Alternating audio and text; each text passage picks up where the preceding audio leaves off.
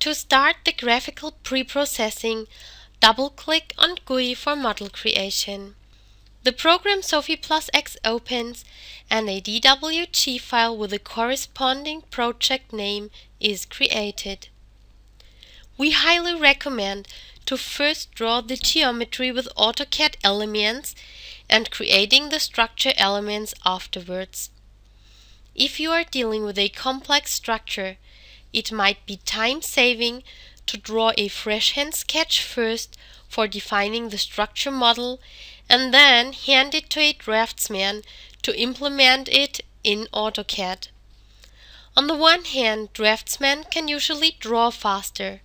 On the other hand, you have to decide about simplifications first of all. The geometry of our slab is very simple and can be ended quickly. Draw a rectangle through the origin with a length of 20 meters and a width of 10 meter.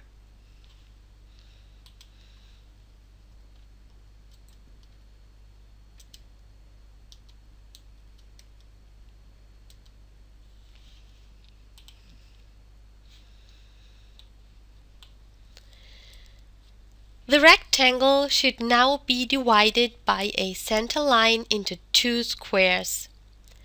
This is pretty easy if you have activated midpoint as an option of Object Snap.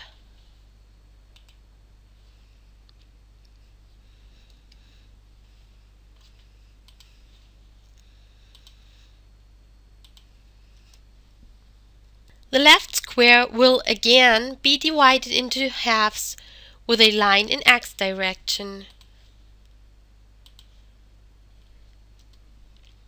Now the geometry input is done and you can start to define the structure elements. Go to the sidebar and select the tab Structural Elements.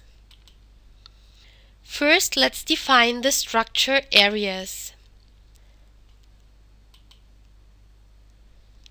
The thickness of the area has to be increased to 24 centimeters. If you now make a right click in the workspace, you can choose between different options on how to define the area. The easiest way for our structure is point in area. Now click into the first area top left.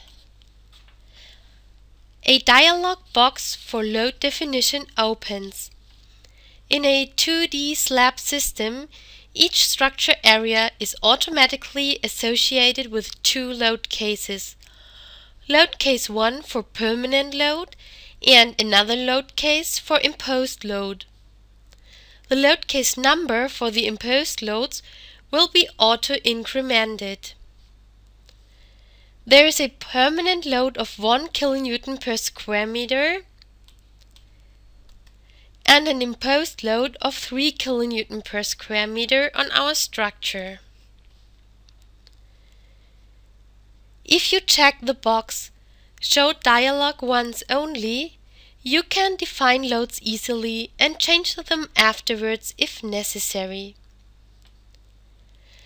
When you now click OK, area number 1 with load case 1 and 2 is created.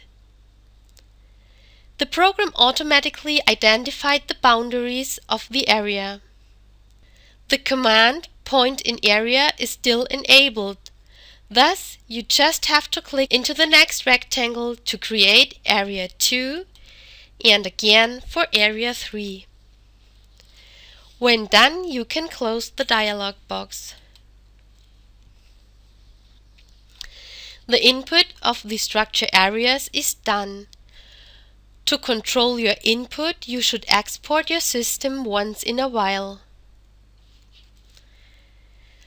Click on the export icon. There are no changes necessary, thus we can confirm the dialog with OK.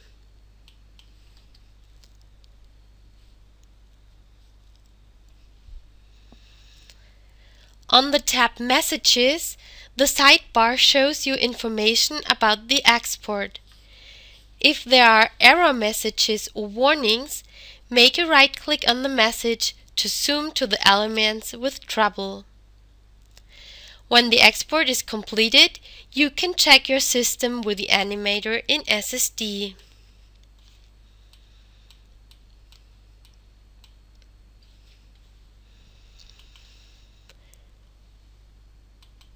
There is also a small preview window on the System tab in SOFiPLUS X. If you go to the tab Loads and open the Load Case Manager, you can see that there are two actions and four load cases defined. For load case 1, we are going to set the self weight of the structure to 1. Thus the program will calculate this load all by itself. The permanent load you assign to the structure elements should only contain additional loads, for example from floor construction.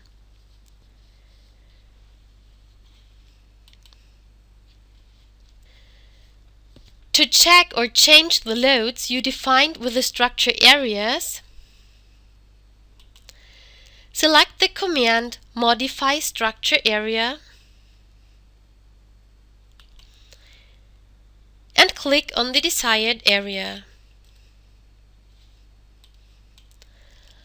Go to the tab Loads and select Edit Structure Area Default Loads.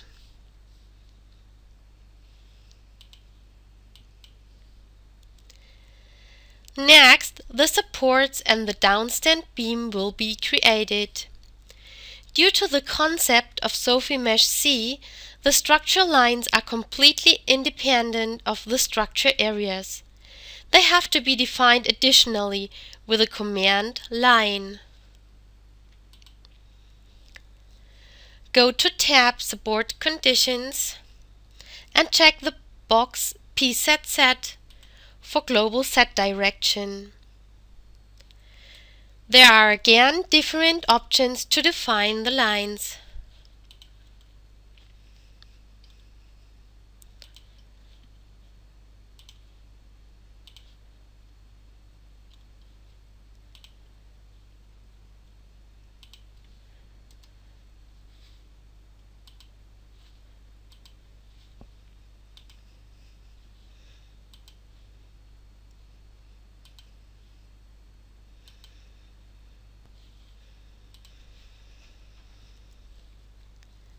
The T-beam is in between area 1 and 2. Open command line again.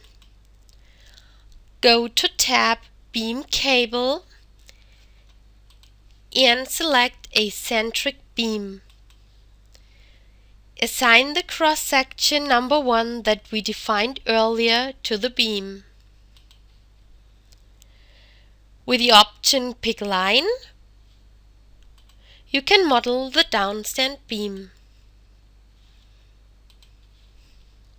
In a final step, we will model the three columns. Select the command point in the sidebar. Go to tab Lower Upper Column. The columns should be modeled as elastic springs. The diameter of the columns is 30 centimeters.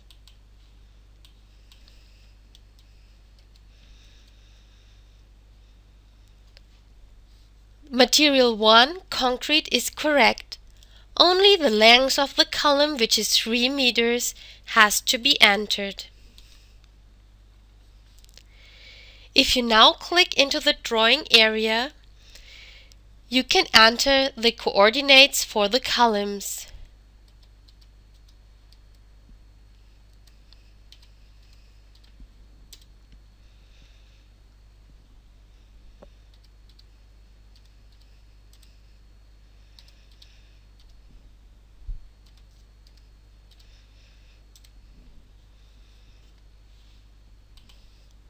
Now the system generation is completely done and you can export all elements.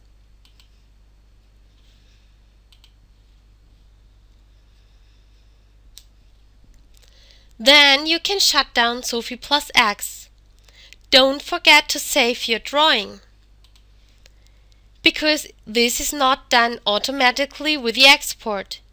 Having said that, saving the drawing will not export and write data into the CDB.